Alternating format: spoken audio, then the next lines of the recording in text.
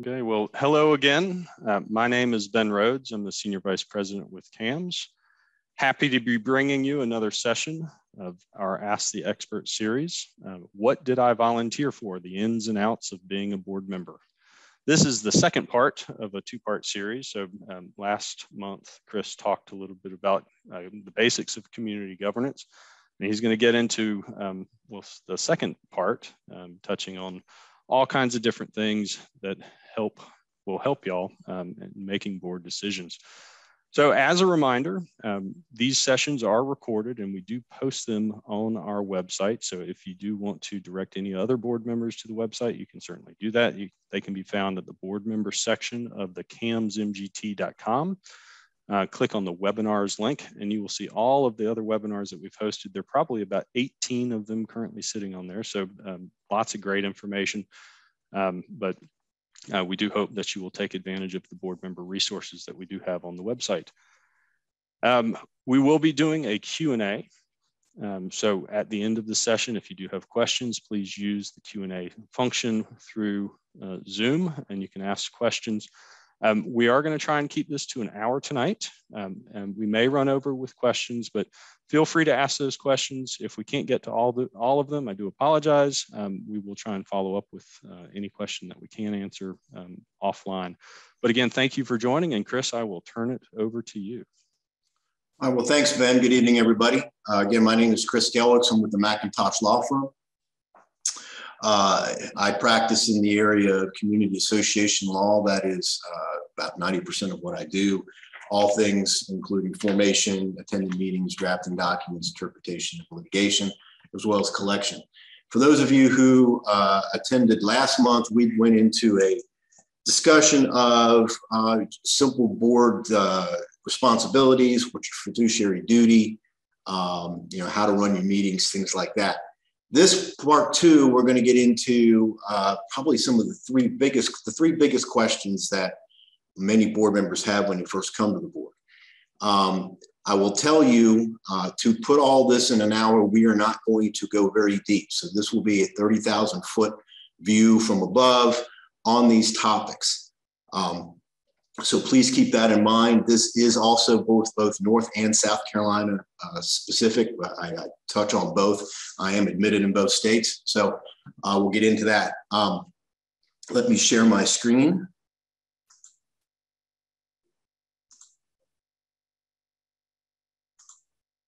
And we will begin. So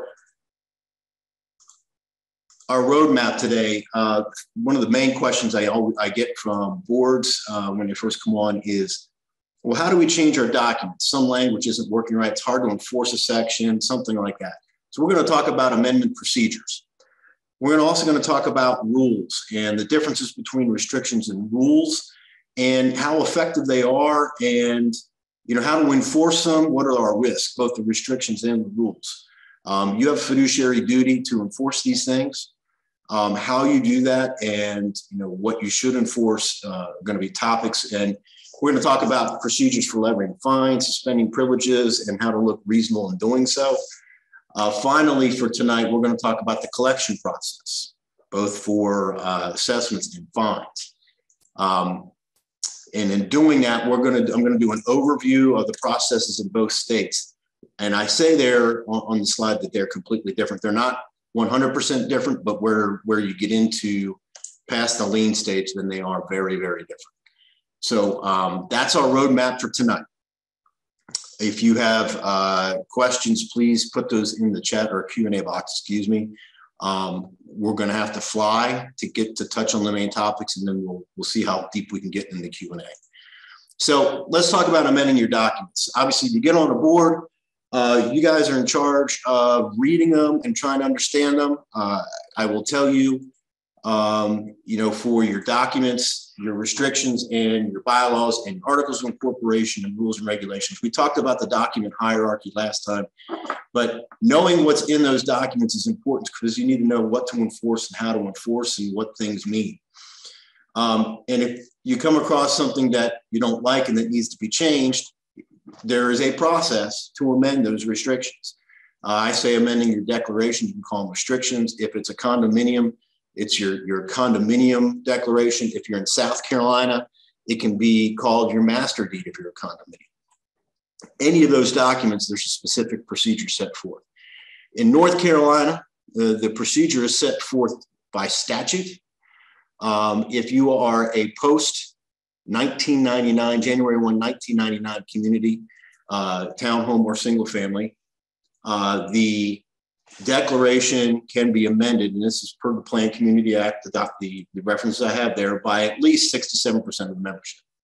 So I don't care what, if you are a post 1999 community, uh, January 199, your document, your declaration may say you can amend to 60%. I've seen a few that say a majority.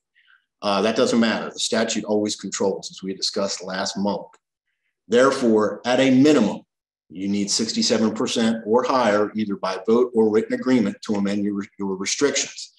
Uh, if your doc, if your declaration has a higher percentage, 75%, for example, I've seen that many times. I've seen them as high as 90. Um, the higher percentage controls. So it, the 67% applies only if it's silent or if it has uh, less than 67. If you have a higher number, you have to go with that. If you are a pre January 1, 1999 community, good news, this statute applies to you as well. Uh, now that again, that is for planned communities. For condominiums, if you are a post October 1, 1986 condominium, if you were formed after that date, this is the same procedure, same uh, percentage applies, and same uh, reasoning too meaning 67 or higher, regardless of what your documents say. If it's a lower percentage, if it's higher, you go with the higher uh, by vote or written agreement. That section in the Condo Act, however, and that's 47C2 117, is not retroactive to pre 1986, October 1, 1986 communities. That means if you are a condominium formed before October 1, 1986, the percentage needed to amend your documents that is contained within your documents controls. That is the only exception. Why the legislature has not made that retroactive, I don't. I do not know. Um, I will also tell you, um, and I say this applies if you are a pre January 1, 1999 community. This, and I, I said that this section applies to you. It applies unless your restrictions specifically say it does not apply. And I have never read a set of, set of restrictions that specifically says that the, the Plan of Community Act does not apply. Therefore, it, it's a pretty safe bet that you need, in, in North Carolina, if you are a planned community, you need at least 67%. Uh, condominiums, as I said, uh, depending upon your age. And I don't know that I know there's still, I have a few condominium clients that are older than October 1, 86, but not too many. In South Carolina, completely different. There's no statute on point uh, regarding amendments. The declaration language thus controls whatever percentage and procedure is set forth in your restrictions uh, or your master deed controls how you amend. Now, the South Carolina Homeowner Association Act passed in 2018, which is uh, codified at uh, South Carolina Code Title 27, Chapter 30, requires that amendments to these documents, and we all know this, it's in both, you have to record any amendments to your uh, governing documents in South Carolina for them to be enforceable. We know that in North Carolina, if you amend your restrictions, you must record that amendment for it to be effective. In South Carolina, as we will talk on the next couple of slides, anything that you amend, whether it's bylaws or rules, you must record them. Um, so that's that is a big difference between the two states. In North Carolina, you only need to record an amendment to the declaration. Uh, in South Carolina, you have to record everything uh, for them to be effective. Um, I put a case there at the bottom, Erkes v. Kasperek. It's a 1990 case out of South Carolina.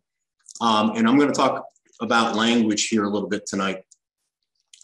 Um, there, there are a number of North Carolina cases, uh, Armstrong versus Ledges and uh, Wallach, the Lingle uh, versus Wallach case.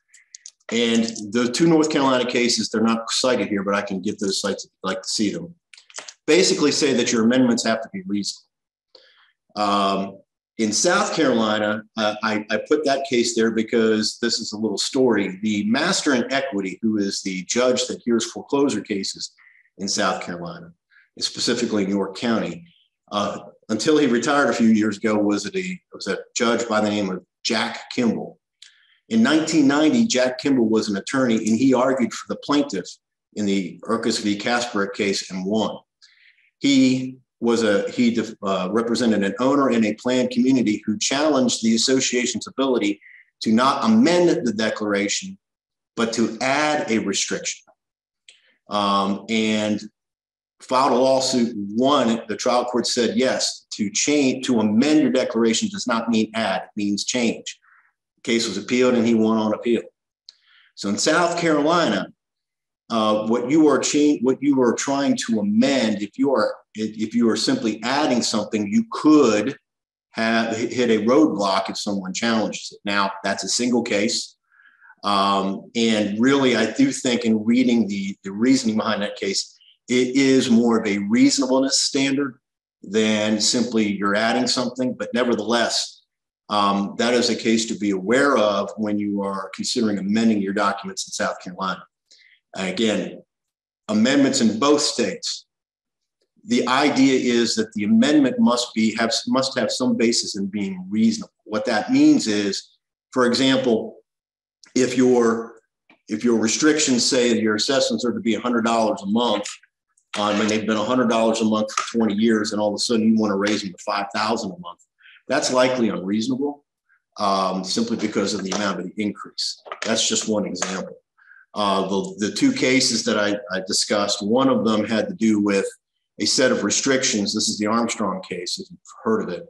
The Armstrong case dealt with a set of restrictions that did not contain any mandatory membership in a, in a homeowners association, nor did it have mandatory assessments. The members voted to change that make membership mandatory and mandatorily assessed.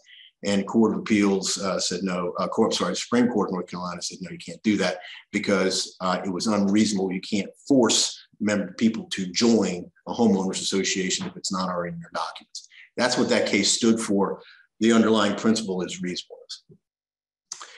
Amending your bylaws. In North Carolina, there's a, a this is statutorily driven, uh, and that is 55A 1021, and it basically says the, the following the members will can amend the bylaws by either a two thirds of a vote cast at a meeting or a majority of everybody in your community. I went, that can be a little confusing. I went through in my community uh, four years ago and amendments to the bylaws. We were fortunate to get uh, more than half of the community to respond. And of those, more than two thirds voted yes. So we were, we, we met those requirements. Note, excuse me, that in North Carolina, when you amend your bylaws, those amendments, unless there is some requirement within those bylaws that says they are to be recorded, they do not need to be. In North Carolina, your bylaws do not need to be recorded at the register of deeds anytime, not amendments, not when they are originally filed. You will sometimes see with condominium documents um, an exhibit to the condominium declaration that contains the bylaws. It may even contain the articles of incorporation even unless the, the declaration or the bylaws, those specifically say the amendments must be recorded, you do not have to record those amendments. Now, I advise it if your bylaws are recorded, but if they're not, there's really no there's no statutory requirement that that be done. In and understand the recording, if you do record them, if they're required to be recorded somewhere in the documents, they are not effective until recording in the register of deeds. South Carolina, a little bit different.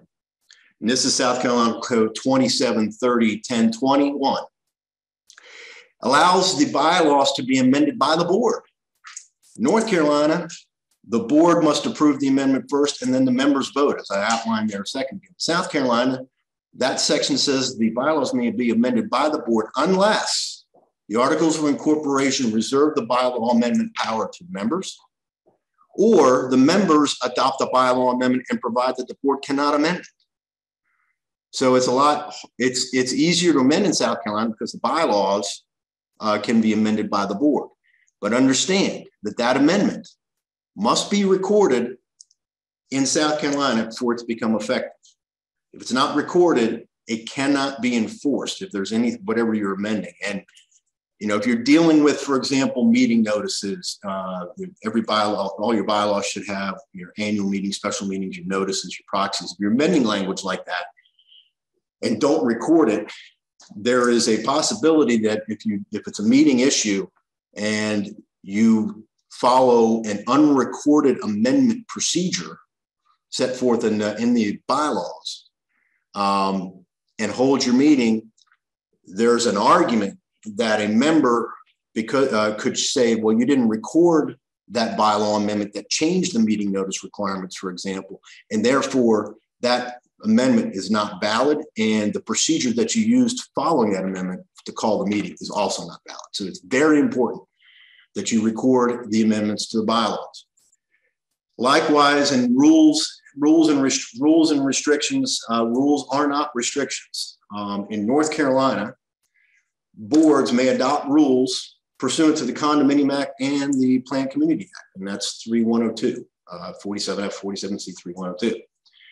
Um, boards can adopt rules regarding what can go on on common elements, common area, and if allowed for in the declaration, boards could potentially adopt rules that govern what a person does or doesn't do on their lot. In South Carolina, there is no statute that allows boards to make rules. So the power to make rules has to be either written in the restrictions or bylaws, or it must be inferred in some fashion by the language in the, those bylaws or uh, declaration. Understand this, and this is this is not a procedure thing. This is just a language thing. Rules do not equal restrictions. Restrictions always control over the rules because rules can be generally changed by the board without a member vote. Restrictions are always re, uh, amended by the members. And that is the big distinction regarding enforceability. Rules that conflict with the restrictions will not be able to be enforced. Restriction language always controls. Rules that are consistent with the restrictions can be enforced, assuming they were adopted pursuant to proper procedures. So that is a, a key. And what do I mean by rules? If you if your declaration allows you to assign allow if a condominium allows you to uh, assign parking spaces, if you adopt a rule assigning certain space certain parking spaces to certain individuals, that's perfectly acceptable. The rule allow the restriction allows you to do that. On the other hand, unless there is something in your restrictions that allows you to do to pass a rule regarding what someone could do on their lot, then someone coming out and putting a, uh, a sprinkler head on their property, or perhaps doing a dance on their property, or having parties on their front lawn. Um, it's not something that you can pass rule to restrict because your restrictions don't allow you. So just keep in mind the, the length and breadth of your rules is governed by what your restrictions will allow. The power to make rules in North Carolina is, by, is given to you by statute. Your documents may expand that to do to allow you to make rules of what, what happens on a lot. In South Carolina, it is completely document driven. When we're talking about rules and restrictions, we naturally must move on to enforcement. Enforcement meaning someone's violating these restrictions or somebody's violating the rules. You're not allowed to have a clothesline on the property and somebody puts a clothesline. You're not allowed to have an above ground pool. Somebody builds an above ground pool in the front yard. What do we do? Well, the purpose, what's the purpose of enforcement? What's the purpose of taking remedial action? The board sees this violation, they get a complaint from owners.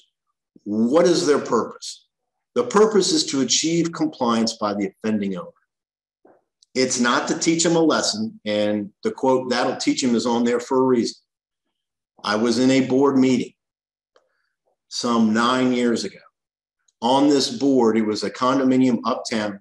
On this board was a uh, very well read, well versed attorney, uh, but he didn't do HOA law.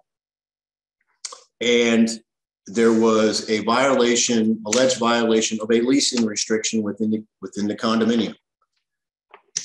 After much debate, he they the associate the board decided to fine the individual uh, set amount and to do that per day until the leasing violation was cured.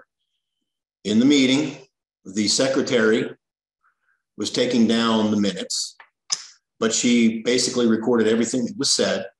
And the president, who was this attorney, said, after the levy of the fine, said, Well, that'll teach you. That got written down by the secretary. I had to tell her to redact it. The, bo- the point of enforcement is not to teach the owners a lesson, it is to get compliance. And the f- further statement was made at that meeting we were elected, so we can do what we want with these violations. That, again, is not the point. The point is to get compliance, to get the violation cured. Now, what's your fiduciary duty? We talked about fiduciary duty last month. You have a fiduciary duty to enforce the restrictions and the rules. If you're not going to enforce something, then you need to change the restrictions. I get questions from boards all the time. You know, well, this there's this uh, parking rule that we don't enforce.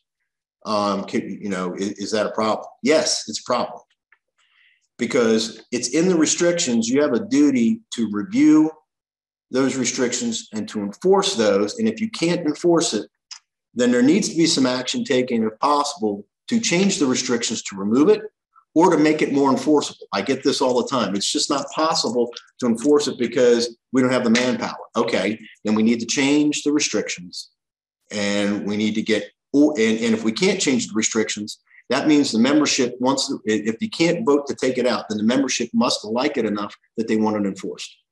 That's kind of the reason. Now, every situation is different.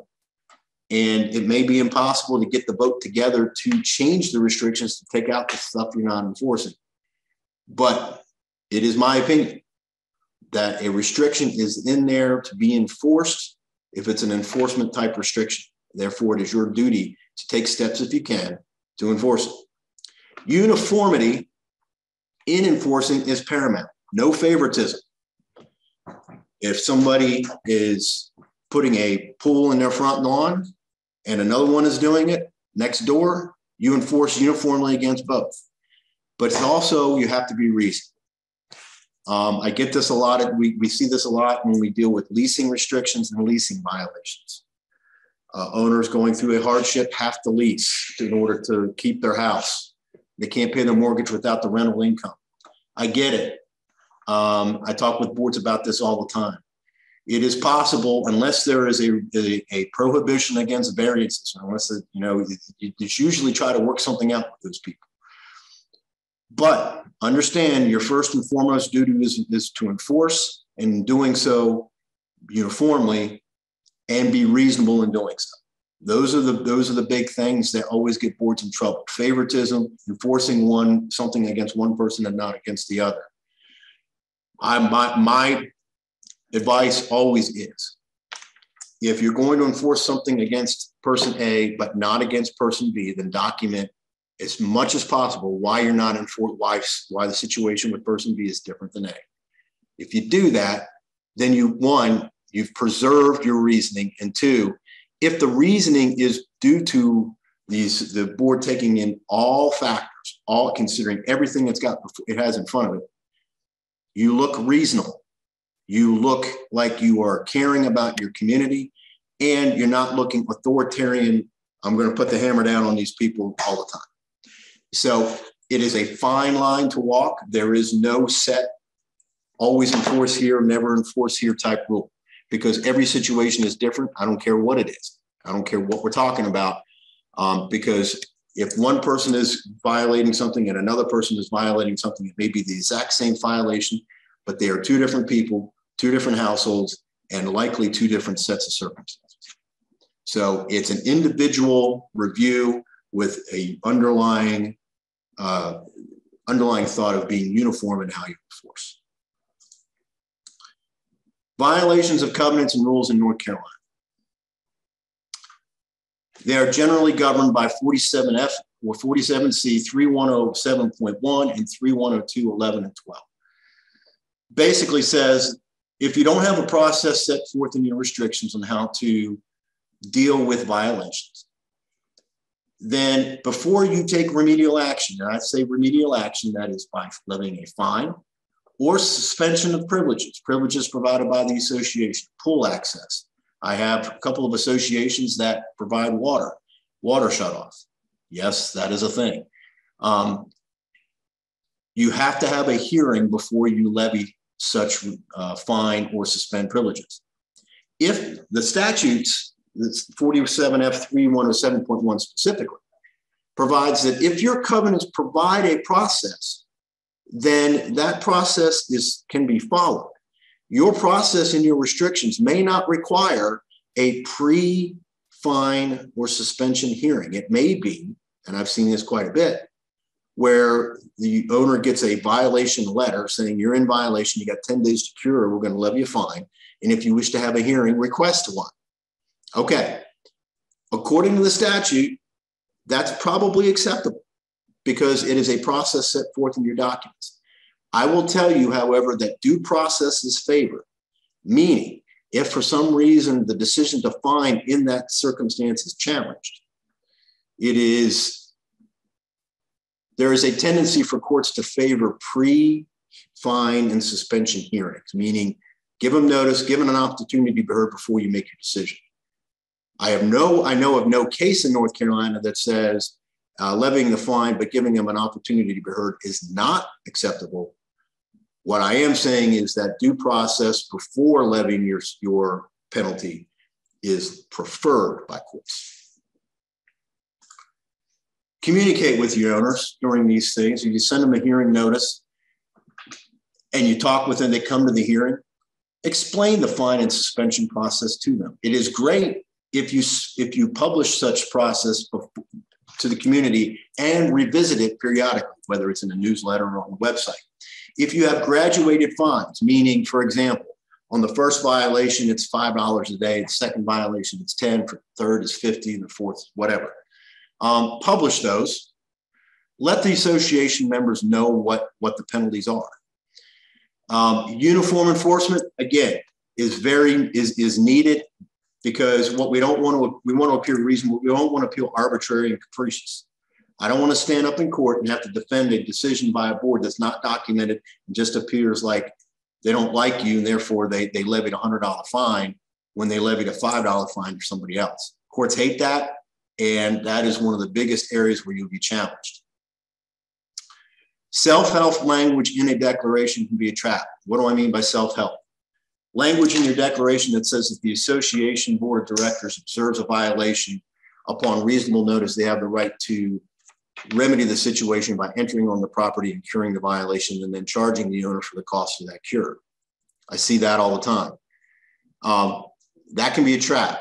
Um, discussed this way too many times uh, through the years regarding, uh, you know, a, a, case where someone, uh, an association went on to someone's lot to cut the grass. Because it was going, it was too high, and they chopped off the prize tomato plant. Uh, a lot of my colleagues talk about that case. Um, that's one of the dangers. I encourage self help in the situation where you have a court order saying you can go on a property. Other than that, uh, while that self help language may be in there, I don't know if I've ever issued a legal, legal opinion that says go do it. It's possible I may. Um, it depends on the situation. But in my opinion, the language in the statute is there to give boards the opportunity to take administrative action to cure a violation through the fine and suspension of privileges process. And that is, to my, in my opinion, I believe the court would back up, back me up on this. Uh, that is the preferred method. If it's vague, it's not enforceable. Uh, ben and I were having a discussion, I think, about this case. Um, we were talking pri- prior to starting regarding nuisances. Harrison versus Land's End case is an unreported case in 2010. Uh, language in the declaration required uh, the lot owners to keep their uh, their lots uh, well maintained uh, and no unsightly conditions had to be clean. And if it was not, if it was unsightly, if it was not well maintained, it was continuing nuisance. an owner on a piece of property down in Emerald Island, down at the beach, allowed a basically a swamp to go on their property the association tried to take remedial action. There was a lawsuit, and the result was the court examining the very language I put there for you to see and says the following It's vague. I don't know what clean and cycling means. I don't know what a continuing nuisance means. What does well maintained mean? Because those terms are subjective based upon whoever is reading them. We cannot enforce it. And therefore, the language is void and unenforceable. So be aware when you take action based upon language in your restrictions or rules that you've adopted. If the language is not objective, you could run into a situation where you could be challenged because the language is vague. It is vitally important to speak with an attorney like myself, speak with your manager about specific, if you have questions about whether the language is enforceable. Uh, we are a half hour in. I'm going to move along here. Violations in South Carolina. There is no statutory process. None. Going, I want to say one more thing about North Carolina. You also always have the ability to seek injunctive relief and sue the owner to cure a violation. Someone builds an addition onto their house, for example. Uh, this is a case out of Mecklenburg County from a number of years ago. Built an addition onto the house, didn't seek architectural approval. The association knew that if they pursued the fine process, it wasn't going to get him anywhere because all they were going to do is levy fines. But the addition on the house that was unapproved was still there. They sought injunctive relief. The court ordered the addition on the house be removed. Courts will do that because there was specific language in the restrictions that required approval before any construction could occur. They didn't get it. And therefore, the board was justified in pursuing uh, a, uh, a, legal remedy, and the court issued an injunction and required that owner to remove the addition to the house and seek approval before it was rebuilt. That was a great case. South Carolina, there's no statutory process. I say here there is always an ability to sue and enforce. Every set of restrictions I've read in South Carolina contains the ability for the association, and every set in North Carolina too, for the association to take action via court relief, seek, an, seek injunctive relief. The question has been posed that, well, what if that's not in a document in South Carolina? My opinion is you still have the ability because owners have the right to enforce restrictions against other owners. An association would also have that right. It would just have to sue for whatever that is. But then the next question is, are you going to sue an owner because he or she leaves trash can out? That's a big problem in South Carolina. If you do not have a fine process set in your restrictions in South Carolina, what do you do when you have a chronic owner who simply leaves a trash can out? Or it could, it could be viewed, or uh, commits some other violation that would be easily to, to fine for to correct the issue. Are you going to sue them every time? It's just not practical. A lawsuit costs $20,000 nowadays just to get filed and get running. Um, if it's vague, again, same standard in, in, South Carolina. If your restrictions if that you're trying to enforce or your rule trying to enforce is vague, it's going to be unenforceable. If the documents are silent as to a fine and suspension process, then you cannot fine or suspend them. I had an association in South Carolina with a very knowledgeable manager last year discuss with me why you know trying to collect on unpaid fines for this owner. And when i reviewed the documents i didn't see a fine process. And i asked the manager about it. And her response was well i just assumed there was one because we could do it in north carolina. And can't do that in south carolina there is no statute in place allowing you to fine or suspend therefore it, it has to be in your documents if it's not in there you cannot fine and you cannot suspend for violations you're going to need to amend your documents to assert it insert that language in there. I'm going to give you a war story on enforcement. I represent an association in North Carolina. You see that picture there, that is a gravel road. Um, that is not the gravel road I'm talking about, but it is illustrative. There was a, it's a community in, in North Carolina that is in an air park. When the owner in 2002 built the lot, built on the lot, there was construction traffic uh, and they came up the side of the lot. And over the course of about the year they were building that, that house and another structure, ruts began to form uh, where they kept going over the same area and it went from the road all the way back to the house. Uh, ruts would form. And then, uh, uh, as fate would have it, a gravel truck came in and spilled a lot of gravel along that whole uh, gravel driveway, is what I'm calling it probably went five, 600 feet or more. It's probably more than that. Um, and so over the course of years, that gravel driveway just sat there with the gravel on it. Trees overgrew it. Um, it really, and, and of course, there was a regular driveway also constructed, concrete and everything on there. Um, the restrictions said there's only two driveways you can have a driveway, only two two forms. I'm sorry, three: asphalt, concrete, or brick. You can't have a gravel or a dirt driveway. That driveway in 2002 was formed by the ruts of the construction traffic going over the over the land and the gravel. And it sat there and sat there and sat there and sat there for eight years. Eight years. No one said anything. It, again, there were trees overgrowing it, so you could see it, but it was just there. New owner buys it in 2010. Um, some an owner across the street from the new buyer says, "Hey, you're going to get rid of that gravel driveway." They, the new owner says, "No, it was there when I bought it," and went to the board and asked for a letter of compliance, meaning we wanted something in writing that says that his lot, even though that gravel driveway was there, was in compliance with the restrictions. Board didn't do anything. Didn't say yes, didn't say no. This went on for another six years.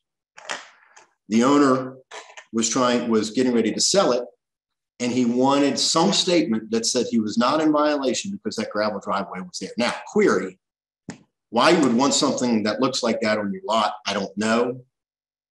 I wouldn't, but again, everyone's different. The board would not give it to him. In fact, sent him a letter at that point and said, no, and not only are we not going to give you that letter, you're in violation for this gravel driveway that has been there since 2002. This is now 2015. They called him to a hearing, and that and at that point they called me and attempted to find him. I said, whoa, wait a minute. How long has it been there? How long have you known about it? Um, got that got that whole history, and as we were working that out, the owner decided, you know what, I'm just going to sue the HOA. And we ended up having to go to court over that in a five day jury trial. Five days. Ended up where the court, the jury in the case found that yes, the owner was in violation of the restrictions because the gravel driveway was on the property.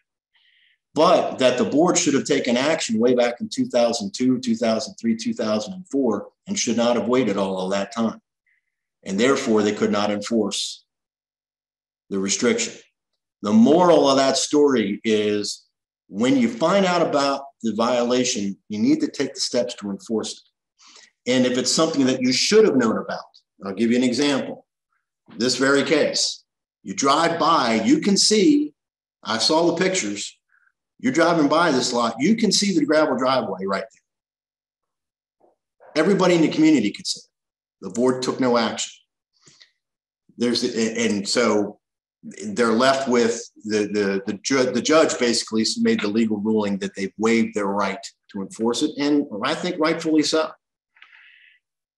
The other part of that is, of course, that it would have cost the owner of the property about thirty to forty thousand dollars to to concrete it over to make it a valid driveway.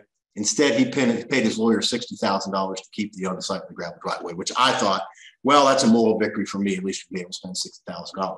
The association spent 60, but it was through the insurance company. So moral of the story, enforce it when you know about it or when you should have known about it. And if you don't, if you're, if you're getting complaints from owners, you need to look at those um, and not delay. We don't want to deal with a situation where the association didn't enforce in a timely fashion. Let's go on to collections, the last big topic for tonight. I sat on my board of directors for my HOA for four years. I, I, my term ended in January. Um, I'm still popping champagne bottles. But I don't like dealing with collections. People, there are, there are various reasons why people don't pay their assessments. As board members, we know that we need that money for the necessary operation of the association, we have to have, we budget for a set amount of assessments to come in. And it's my opinion and other attorneys that do what I do, his opinion, that you have a fiduciary duty as a board to collect the assessments from everybody. When, met, when you budget, it is natural and you should budget for some percentage of non-payment.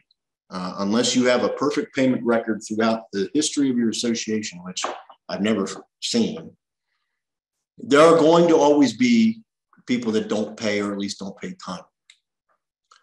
Um, it, it's it's the nature of the beast of being a board member that you have to deal with these things. In North Carolina, um, you and you're dealing with the, again the collection process when someone doesn't pay is, is statutory.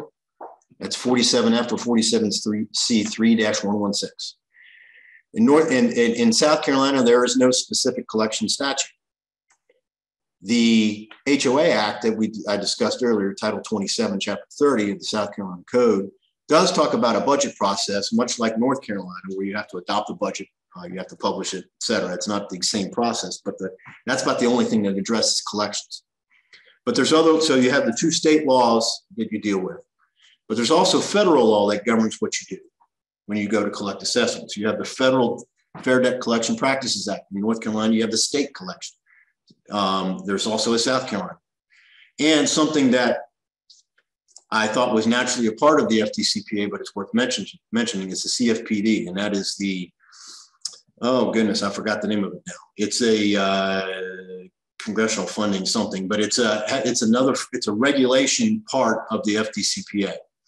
And then we're dealing with with fair debt. We're dealing with the the language that you see on letters. Uh, this is a, this is a attempt to collect the debt. Anything will be uh, you, any information obtained will be used for that purpose. That's what's called we call mini Miranda, and this affects debt, debt verification letters too. It affects all our communications you know, the, the, our HOAs themselves, debt collectors, not under the federal statute, but the management companies are, and under state statute, you are. So you have to you have to be aware of how what collection activity you take um, is governed by both state and federal law. And what are your options if someone doesn't pay their assessments? We can do nothing. But that's not viable because you need the money, because you budgeted for it. You have a set amount of expenses need to be paid. And remember what I said, you have a fiduciary duty. Well, so you, doing nothing is not an option. Well, what's the next option? In both states, you have the power to place a lien on the property if they don't pay and pursue foreclosure through the power sale provision in North Carolina or judicial foreclosure in South Carolina. And that process has been described as killing a fly with a cannon. And here's why. If your assessments are $2,000 a year and they don't pay this year, you put a lien on. Does anyone really want to foreclose on a $500,000 house for $2,000? Well, no, no one does. It is an extreme method. Um, and then the questions arise well, what if there's a mortgage on the property? Do we have to pay it? No. If you if you foreclose on the property, the association takes title there's no requirement that you pay the mortgage, but uh, the mortgage, the bank could then foreclose on top of you. So that's always a concern. And what about the cost? The power of sale uh, process, which I'll talk about here in a little bit, is not that expensive. In North Carolina, for an uncontested foreclosure, start to finish through lien, there's a statutory cap on attorney's fees. Um, there are set costs. Uh, if it's judicial foreclosure, we'll now explain the difference here in a minute um, the costs are going to be higher.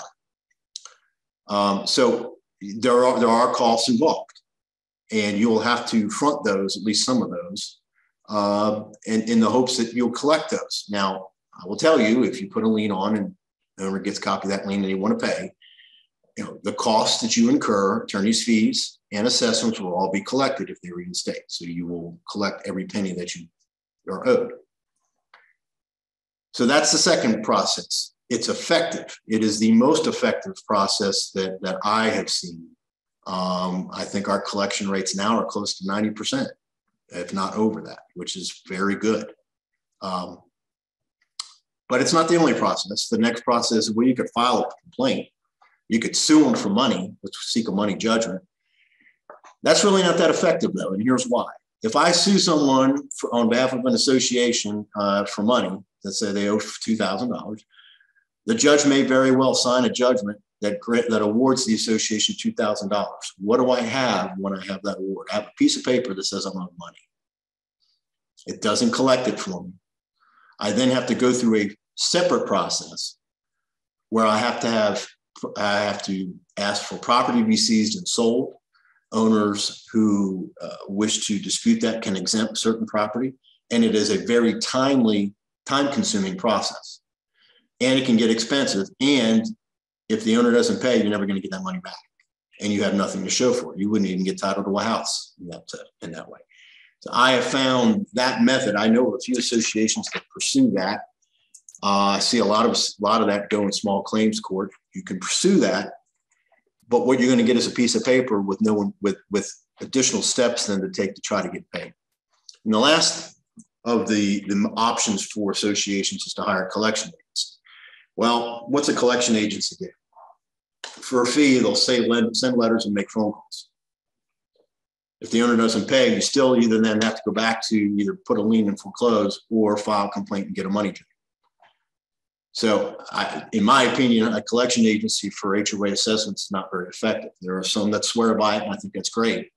Uh, from my, posi- my position on this, and I think the position of most of my colleagues in this, is that the most effective method and the, and the most cost efficient method, method is the lien foreclosure process. While it can be deemed extreme, it is extremely successful. So let's talk about the South Carolina lien foreclosure process first. There is no statute in South Carolina that tells you how to lien and foreclose on a piece of property, whether it's from uh, for, for HOA assessments. Your documents control everything. When, if, ever, if you read your documents, your declaration of covenants, your master deed, you will see every every set of documents I've ever read has in it a provision that allows you to levy assessments and that those assessments, if unpaid, become a lien, which can be foreclosed upon. Okay, so the documents create the power to place a lien if someone doesn't pay. And the lien that gets filed by my office and all and those of us who do this, I've never seen one that didn't, secures the amount then due and all sums coming due. In South Carolina, there's no requirement that you send a letter prior to placing the lien, what we call a pre-lien letter. North Carolina, it's different.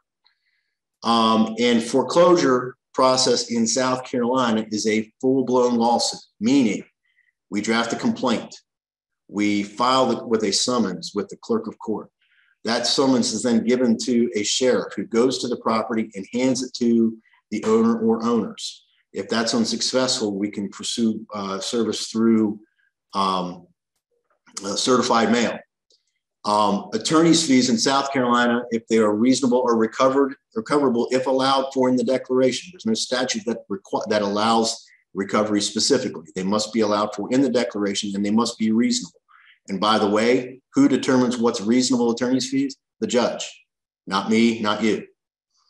Uh, once the judgment is entered, the judgment allows for recovery of money and allows the master in equity we're talking in York County specifically, and in most counties in South Carolina, the master in equity then sells the property at a set date and time.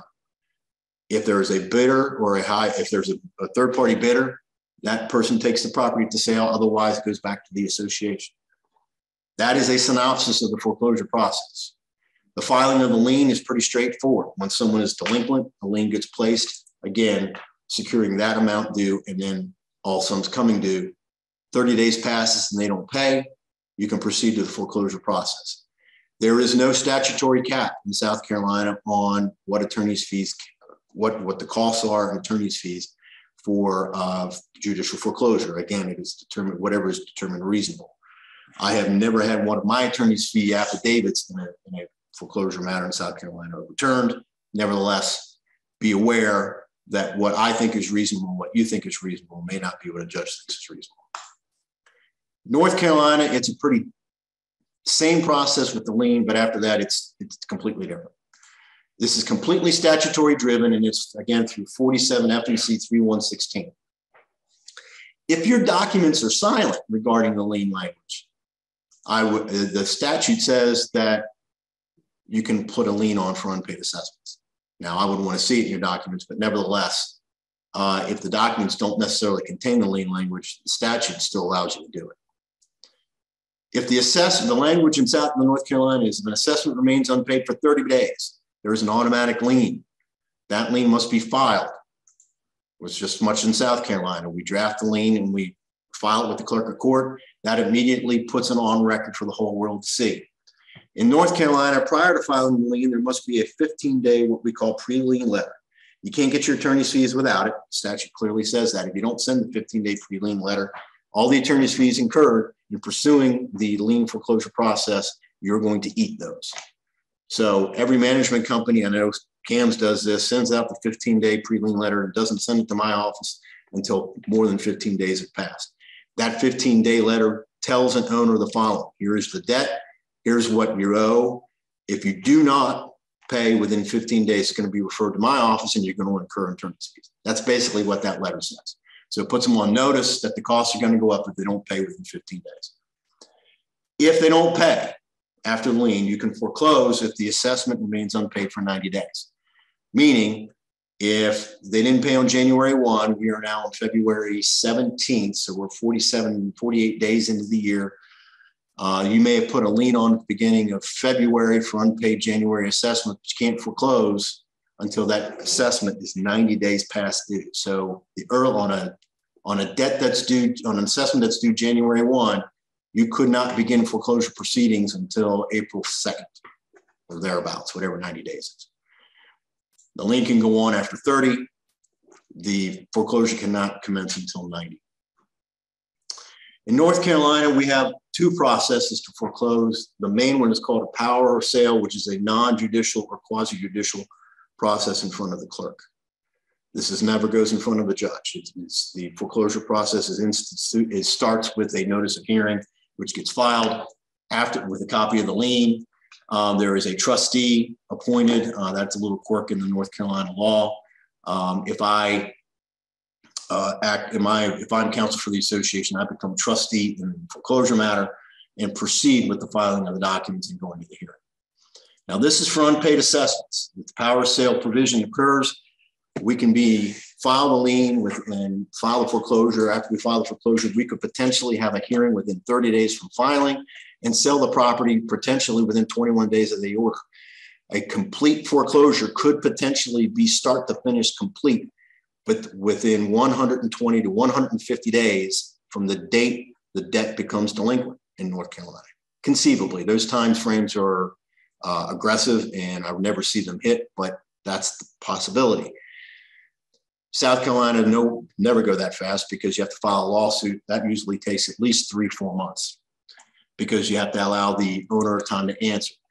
If the debt in North Carolina, however, consists solely of fines imposed by the association or interest on unpaid fines or attorney's fees incurred in pursuing the fines, you cannot use the quick 120 to 150 day process in North Carolina. You must follow lawsuit just like you would in South Carolina, where you have to draft a complaint, you have to serve you have to give them time to answer.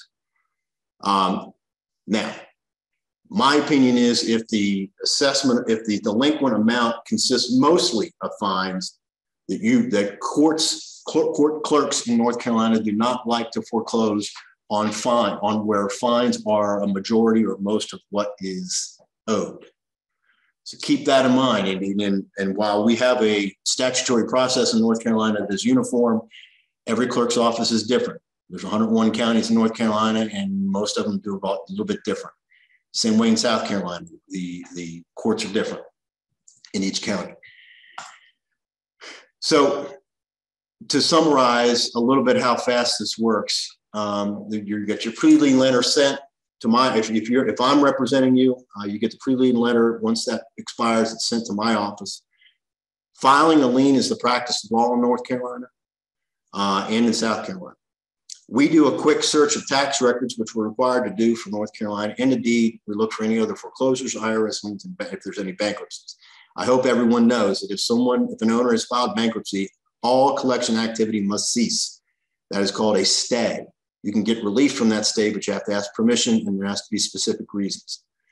Uh, we do the same type of search in South Carolina for South Carolina cases. We file the lien, assuming that there's no, no issues with the first two parts there. After that, this is where the, the process differs between the two states.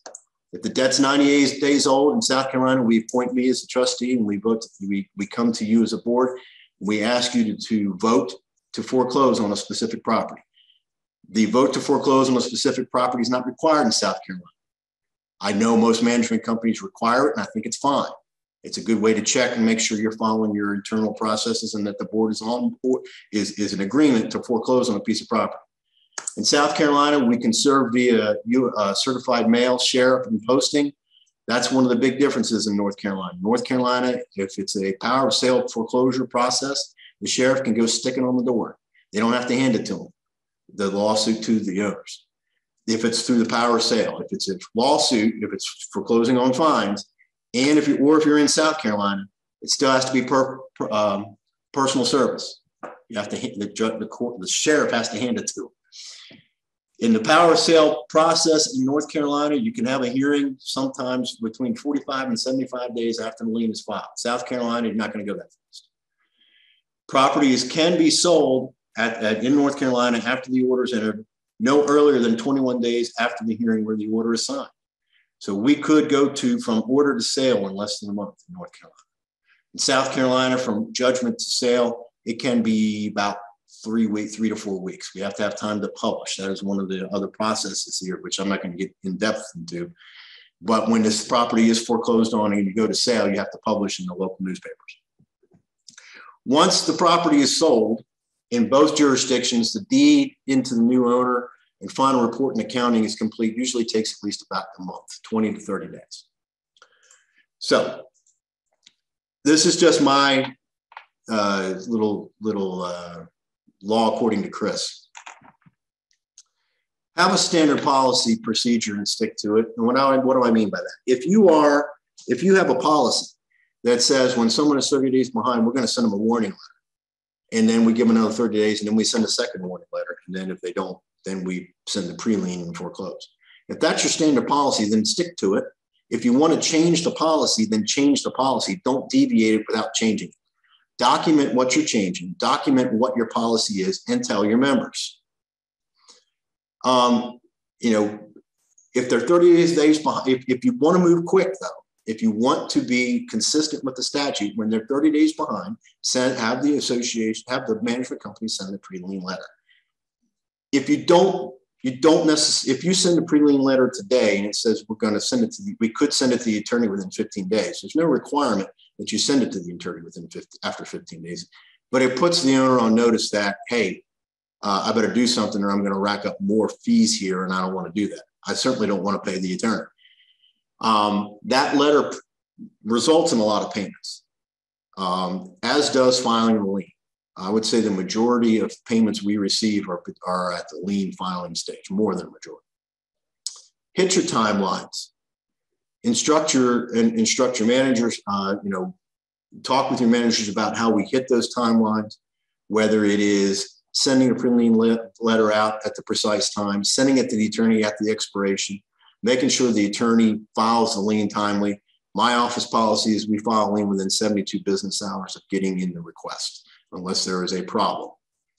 Um, and for heaven's sakes, the foreclosure process is there for a reason. Don't be afraid to file it. Again, I get it. No one wants to sit on a board and foreclose on $2,000. I get it. But that is the most effective way to get collection. And if you simply sit on the lien in North Carolina, if you file a lien, it's good for three years and then it expires. You have to file another one. In South Carolina, they last forever. But if you just sit on it and don't take action, other members of the community will know what you're doing and what you're not doing. And it's set, and, and if the, if the members of the community do not think you're serious about proceeding with collection process, then, then you're not going to get, you're going to get more non-compliance than you want. And no one wants to sit here and have to talk about debts owed. Uh, one of my pet peeves, and I know it's a lot of the pet peeves from managers and other attorneys, once the account is with the attorney, don't talk to the debtor. Managers, I know, don't but boards should not either. I get I get requests a lot. Owners want to talk to the board. No, you're talking to me. Here's why. You talk to the board. Your board doesn't know the exact amount due because there's fees, there's costs tacked on what the assessments are, there's late fees, there's interest. You could quote them something, and if they pay it based upon what you said you'd accept, guess what? You have to accept it. And if it's less than what's owed, you're going in the hole. And that's the time when I get a call from the manager. The board accepted $400 less than what was owed. Would I cut my attorneys? Well, thanks a lot. Thanks for bringing me into the decision making process. Uh, you were hired me to do this, and then you kept me out of it. And you want me to cut my fee for filing the lien and all that. Now, most of the time I will. Uh, but if it gets repetitive, I won't. And I know other attorneys think the same way. You hire us to handle this, let us handle. And you know, if someone wants to settle for something, they want they want interest knocked off, or they want late fees off, off locked off, or they want a payment plan, we'll talk to you about that. We'll let you guys make the decision, but it's got to go through us so we all have the amount, same amounts ready. Um, last slide. So who do you foreclose on? You foreclose on the picture on the left, who owes $10,000 to your association, hasn't paid in years, or do you owe the house that's occupied, you collect on the one house that's occupied? Everyone's going to say you're heartless if you collect the, uh, you don't have a heart if you collect on the one that, that's occupied. But here's the difference.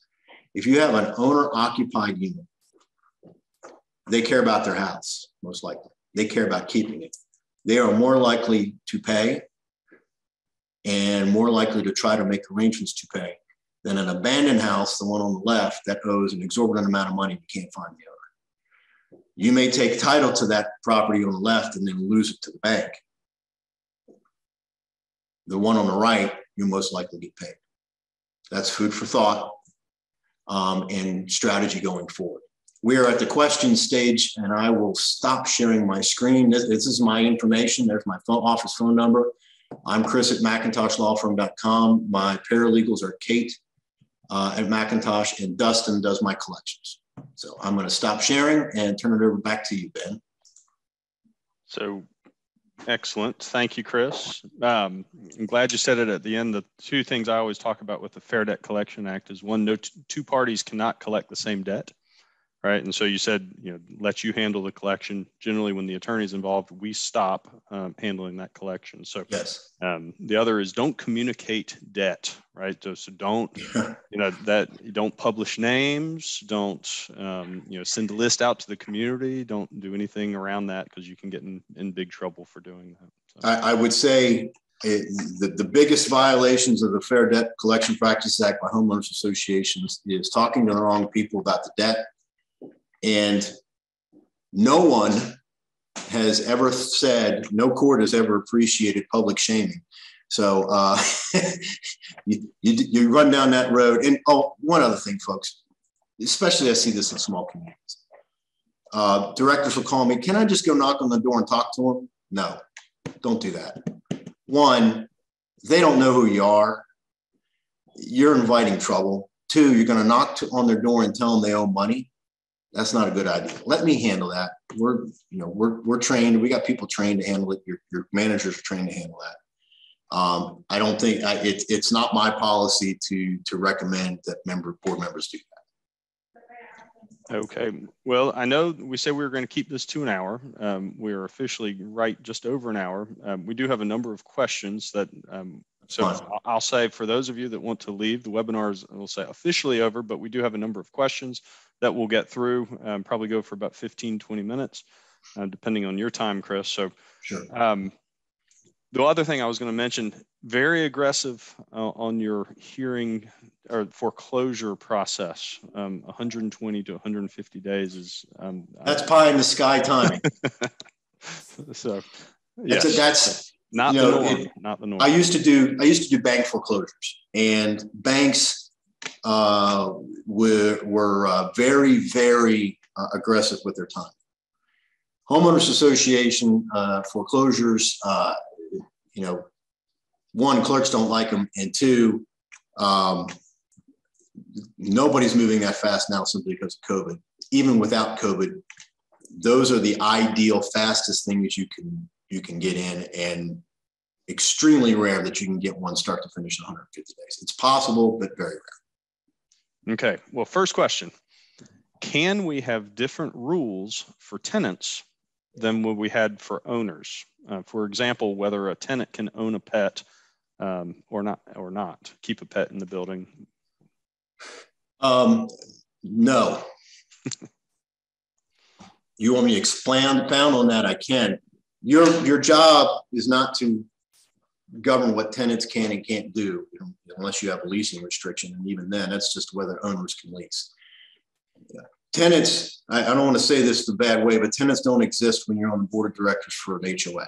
You deal with the members, you deal with the owners. If an owner rents their unit out, you don't find the owner, you don't, I mean, I'm sorry, you don't find the tenant, you don't suspend the privileges of the tenant. You, sus- you find the owner and you suspend the privileges of the owner. The rules need to be uniform regardless if it's an owner occupied unit or a tenant occupied unit. The rules have to be the same for everybody. Now, the only exception to that is if you have a situation where you have an FHA, perhaps an emotional support animal or something like that. Okay, a little bit different, but it's just talking generic. Can you make different rules for tenants? No. Now you mentioned on the onset, if your rule, if your covenants allow it, um, there is some ability to adopt certain types of rules that govern tenants. If your if your documents allow it, yes, but understand you treat every tenant then the same as you would, as you would like you treating all the owners the same. You got to treat all the tenants the same. Um, and I find rules like that are just fraught with peril. Uh, your job, your job is to enforce the restrictions against your members. The members are the owners. So our, our condominium association has incurred legal costs to defend against a homeowner dispute. How much can we share with the other owners to be fully transparent since those costs have been put to the condominium budget? How much can you share? Well, about the lawsuit itself, it's public knowledge. Uh, so the lawsuit itself, the contents of it, and everything, you can certainly talk about. What's you know, I would advise you not to talk about attorney-client uh, information, um, strategy, things like that. As far as costs, my opinion on that is having gone through a lawsuit where my HOA sued somebody um, and we were getting questions about cost.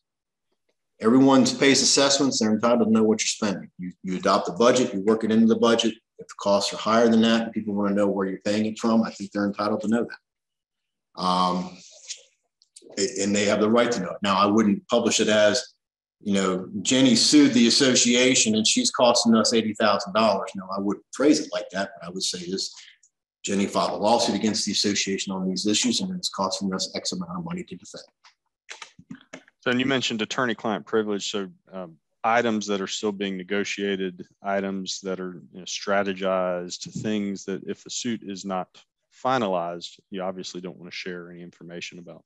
Correct. And, and if you're, you're in a situation where you have a member meeting and, they, and members want to know what's going on, the answer is we're in, we're in settlement discussions or we are pending discovery or we are pending motions. The crux of the lawsuit is A, B, and C. This is what it's about. This is what we filed and move on. That's it. Um, I, I, we're talking about cost is one thing. We're talking about what's going on with the lawsuit. Be very careful what you divulge. Be very careful. Okay, this is an, another issue question that affects many association. Apathy is is regular in in many communities. Yep. Um, so, do votes not cast have to be counted against the particular vote? Yes. A non-vote is a no. Whatever it is. And and in order to take action in a, in a planned community, in any nonprofit corporation, in a condominium, you have to have the affirmative vote of a percentage of members to take that action, whether it's uh, majority after a meeting is called where a quorum is present, or whether it's, for example, to amend your documents. In North Carolina, you need 67% at a minimum of everybody. That means you need 67% being yes. If it's a no or it is a non vote, it's a no. I, I, I can't really can't say any plainer. And I'll say we've had some communities try and get creative where they say failure to return this ballot will constitute a yes. so, yeah, I, have had I have a board uh, that I think you are aware of that said basically that you know response means that you're in favor. No, it doesn't work that way.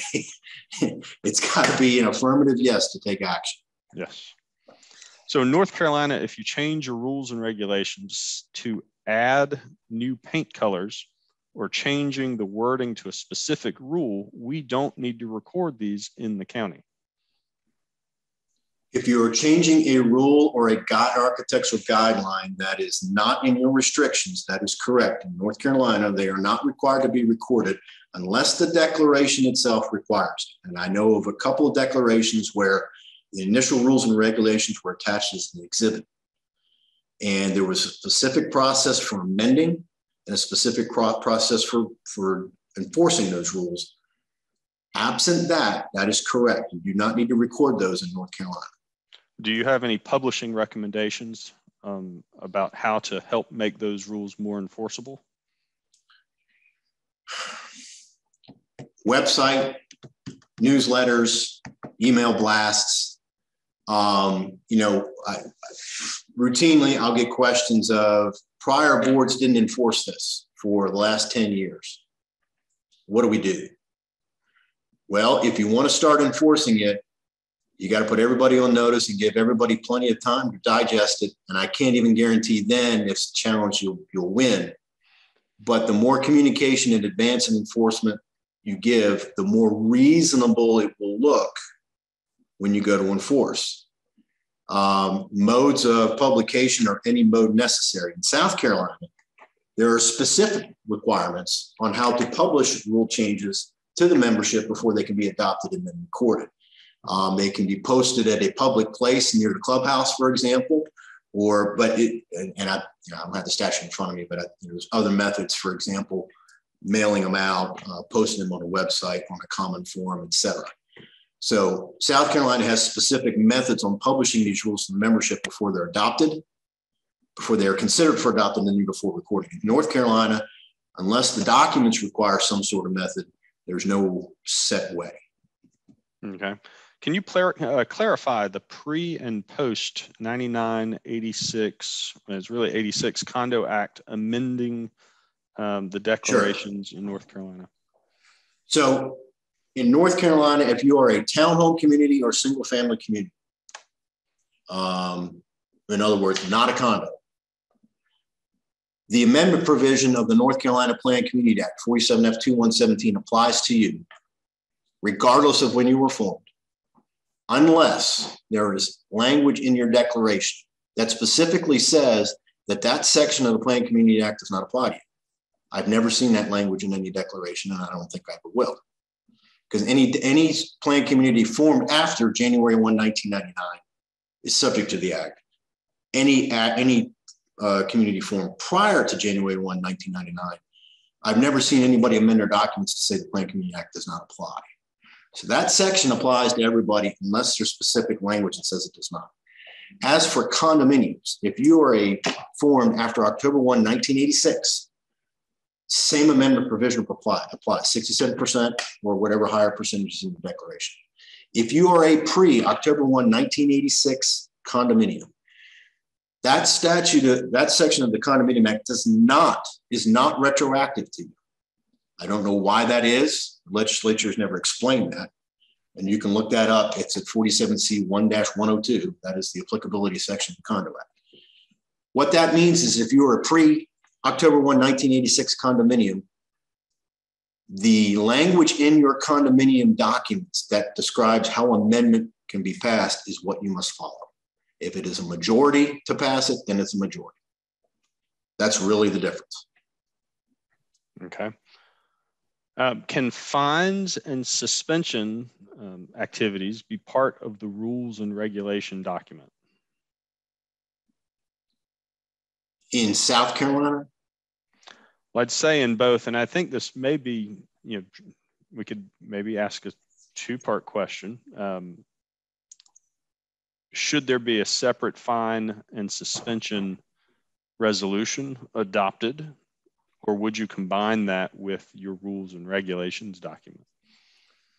Um, I don't think there's any one set way to do it. The more formality that is behind the enforcement any fine or, excuse me, extension, uh, suspension of privileges, the better. Um, in North Carolina, as I indicated, there's a statutory process set in place. So if your documents are silent, you can follow that process and you're, and you're fine. There is no requirement in that process for you to publish anything, for you to adopt separate resolutions.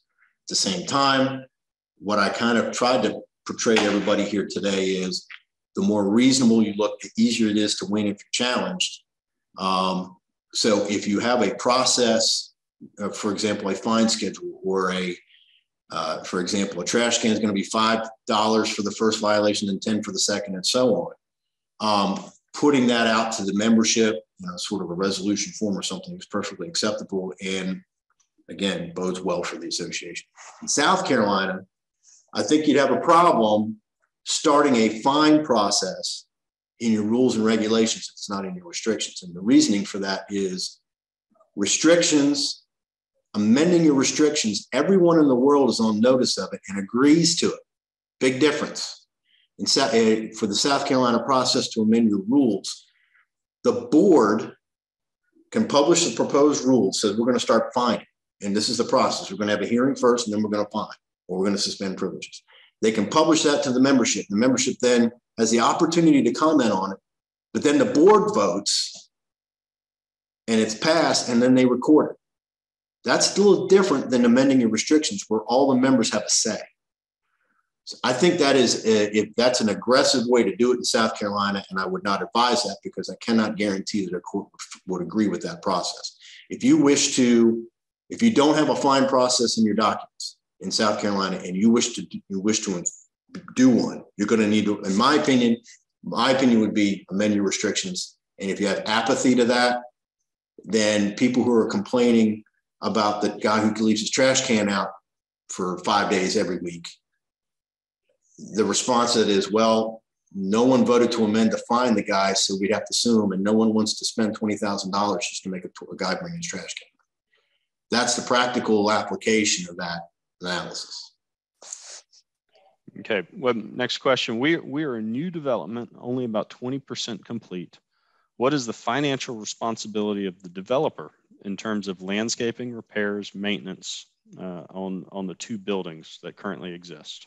Wow. All right. Well, that's wow. That, that, that's probably that's, a webinar unto itself. That's a webinar of itself. So the one minute quick and dirty is uh, the, the developer is to use association assessments to do perform maintenance on those areas as any HOA member control board would.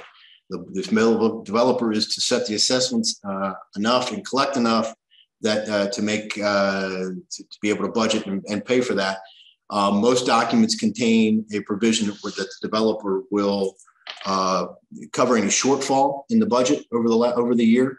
Um, on the other hand, uh, he, he when he developer transitions away, he must leave the property in a state of good repair, and if does not, uh, he must either provide funds to the association to bring it into good repair or come in there and put it in good repair.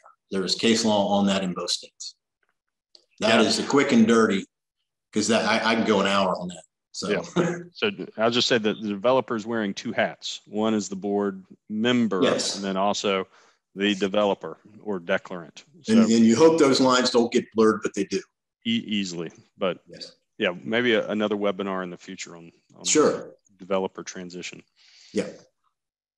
Um, in self-help issues, does an HOA have the authority to require townhome owner to make exterior repairs prior to a scheduled painting?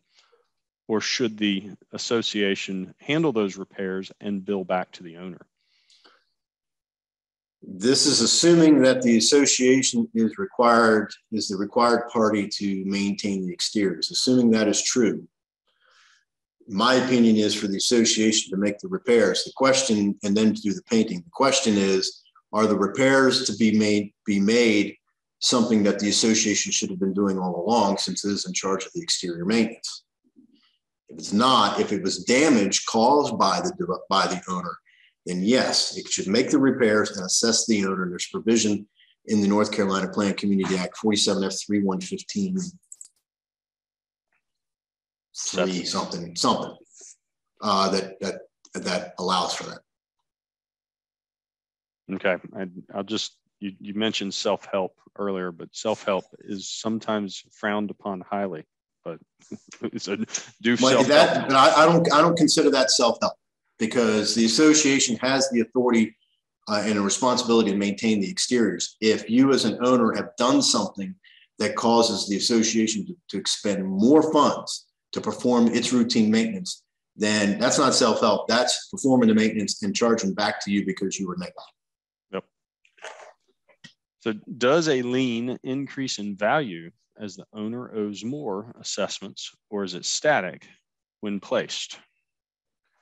The lien in North Carolina, the way I draft mine and the way everybody I think drafts theirs, is the lien secures the amount due when the lien is filed and all sums coming due until either it is paid or the foreclosure is complete.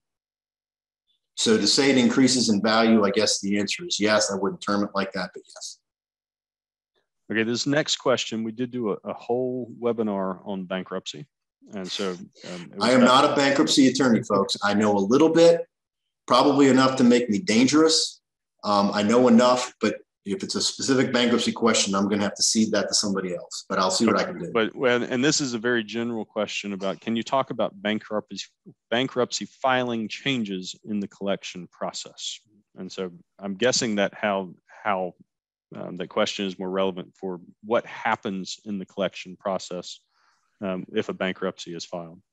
So it depends on when it's filed. If, if the bankruptcy is filed prior to your lien being filed, you are an unsecured creditor.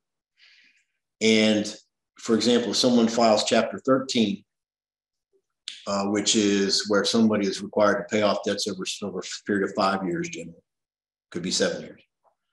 Uh, you become an unsecured creditor and you will likely, if you get paid anything, it will be pennies on the dollar. When I say secured, what I mean by security is when you file a lien for delinquent assessments, you now, your position on who gets, when you get paid is what they're called secured or is set. So, for example, if you have a mortgage they're probably ahead of you in lien position as an HOA. Someone comes in, they buy the house, they got a mortgage. We're going to be behind the mortgage in lien position, but we can be second.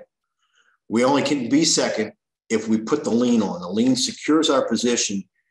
The difference in bankruptcy court between an unsecured creditor, someone with no lien, and someone who is a secured creditor who has a lien is you have a tendency to get paid more. Practically speaking, again, all collection activity must stop. So if we've not put a lien on and they file bankruptcy, we can't then go put the lien on. That's collection activity. We can request relief from stay, but I will tell you, um, they are a lot harder to get uh, if you're not secure. So my advice always is the moment someone goes delinquent, get the lien process started because if they file bankruptcy and you're not secure, you're not going to get a dime and it's going to be very tough to collect anything. And It's going to be very tough to get relief from stay. On the other hand, if you have a lien and you are secure, um, many times we work out an agreement with the bankruptcy attorney to get paid outside of the plan. Um, mortgage, uh, you know, banks do the same thing. We, we generally try to get that accomplished and get some money flowing into the association. Um, what I also see management companies do is let's say the bankruptcy is filed today. So anything prior to today, they have one ledger and then they start a new ledger, what's called post petition. And the idea behind that is, is if they go through the whole bankruptcy, that pre-petition amount is gone. It's discharged if, they, if it gets discharged. If the bankruptcy is not dismissed beforehand, that money is basically written off after five years uh, or whenever the discharge is. But the money that is accruing post petition we can work out, get paid during while the during a bankruptcy while it's going on. And if they're not paying, we can request relief from the state to get paid at least on the post petition amount while the bankruptcy is pending. So it's a it's it's a complicated process. Uh, bankruptcy tends to make things complicated, um, but that's kind of the synopsis. Yes, and it delays everything significantly. It does, and it, as you mentioned, up to five years. Yes. so, um, if if a townhome owner has a family member living in their basement with outside access, is the HOA obligated to provide access to the basement along the common property? So I'm guessing there's a walkway around the back that would come through common property. So um, you are they obligated to well i would say no so. well i don't know what the obligation would be one way, like for that at the same time if it's simply a walkway and access and it's common area i mean if it's gated i guess I, am not sure I, i'm not sure i understand the question is there an obligation to allow non-members access will know. so i can tell you i just attended a law seminar and um, accessory dwelling units are becoming very popular and mm. zoning is changing uh, around the country and they're mm-hmm. allowing different buildings to and they're not subdividing parcels but they're allowing homes to be built within the parcel so you have two homes within an association or mm-hmm. within a lot. And so there's a lot of discussion about how to regulate those.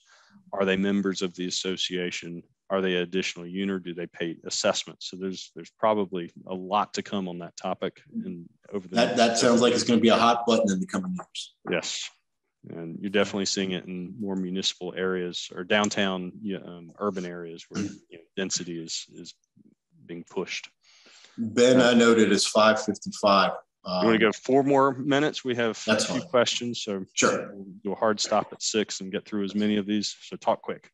Folks, um, if you want to if you want to ask a specific question that we don't get to, uh, can they email you guys and you can get them to me? Yep. We can okay, great. So we have a member who is going to build a pool and he's over his impervious area for his lot. The ARC request has been denied, but he intends to build it anyway. Um, this is a North Carolina community. Yes.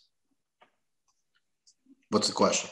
Well, what can you do? Yeah. So okay. So he intends to who's, build it. Who's at risk? Who's at risk? All right. So uh, impervious. I, I, learned a lot in the last couple years about impervious land. Um, if he's over it, and and, and the arch, this is actually just an architectural question, because if the architectural committee can deny based upon going over uh, the the plans will put him over his impervious allotment, then it can deny the plans. And if he builds if he starts to build, he, threatening to build is not building. Okay. So if he's not, if he's just saying, I'm going to build it anyway, okay, well, fine. That's just what you're saying. But if he starts, then you have the decision to make as whether you're going to fine, call into a hearing and fine, or you're going to pursue injunctive relief. Now, with impervious, because the local watershed jurisdictions could be Mecklenburg County, could be Cornelius, could be Davidson, I don't know where you are, um, or Huntersville. Um, the county may get involved with that too, uh, if you can put them on alert, uh, because they they take that stuff pretty seriously. But from an HOA perspective, someone is threatening to build something without approval is not the same as building it without approval. So keep that in mind. And the other thing I think around impervious restrictions is that's largely a developer issue um, in the mm-hmm. development process. And impervious isn't often even mentioned within your governing documents. And so right. there, there's, you know, depending on how that is, but a lot, a lot of information. Yeah, there's, there's, there's more information I really need to, on that yeah. Um, if a foreclosure is executed and the HOA filed the foreclosure and it's awarded, who actually owns the property? Assuming there is no outstanding mortgage? Assuming that there is no outside bidder at the foreclosure sale, then the property then becomes the uh, part of the association. The association becomes the owner with both states. Okay.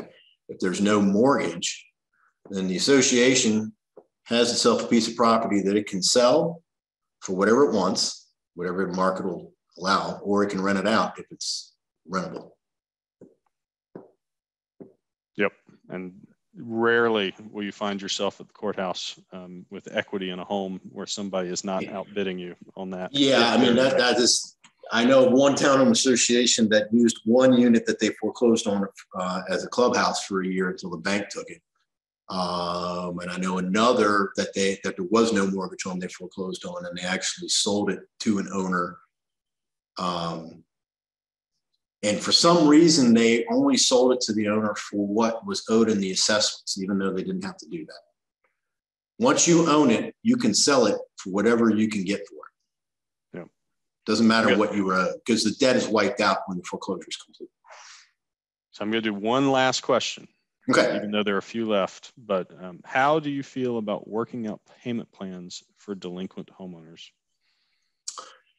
My personal opinion is I despise them because they muddy up the works and the timing, and more than half will make a down payment and then default on the plan.